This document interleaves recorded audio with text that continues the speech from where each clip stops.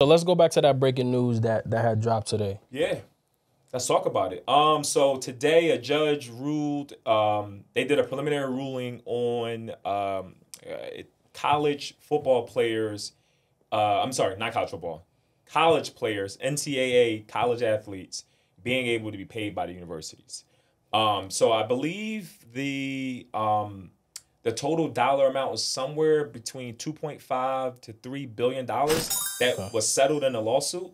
Um, and so what that basically has done is it has positioned athletes that played from 2016 on up, right? So you the the cutoff was 2016 to current to current day to be able to uh, get paid for their name, image, and likeness. Now, what happens is in money. 20.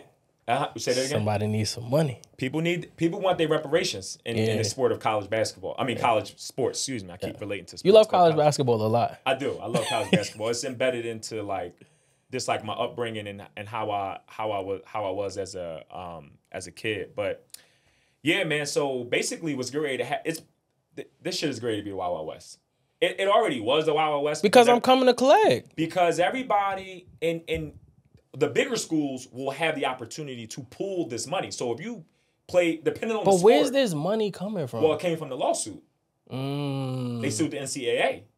And so finally won. Right. And now that money is going to be dispersed amongst the schools, but the top schools are going to have the most money to be able to pay those former athletes and current what they what they're rightfully owed. I gotta give you pushback on that though.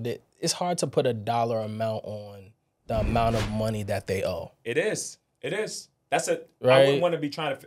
I don't want to. Like I wouldn't want to be the person don't that wanna have to figures that out. No, no, no, no. So now they just opened up another layer because that's of that's relative. That's that's very relative because you may feel like you they owed you. I want five hundred thousand.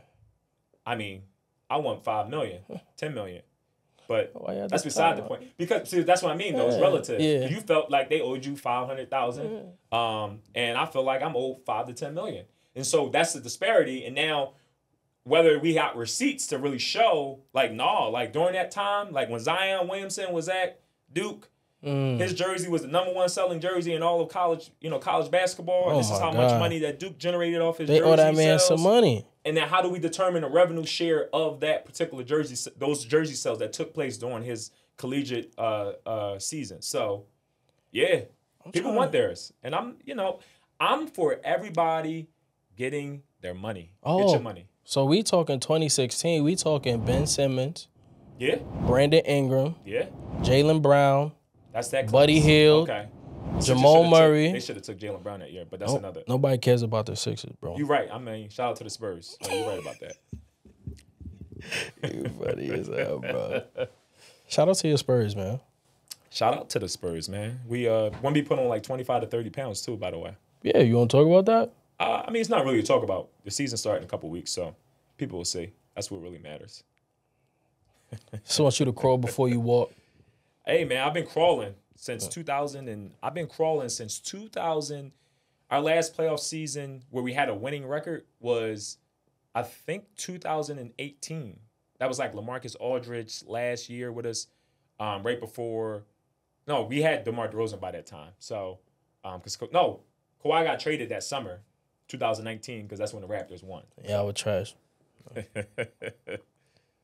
so nah man i uh i'm looking forward to the season as i as i said before um shout out to the spurs because i'm a i'm a just a, i'm a firm believer in everything so